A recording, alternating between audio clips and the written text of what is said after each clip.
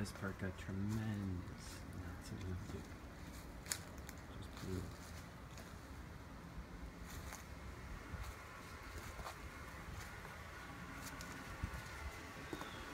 And here you can see the defense, the backside hasn't been done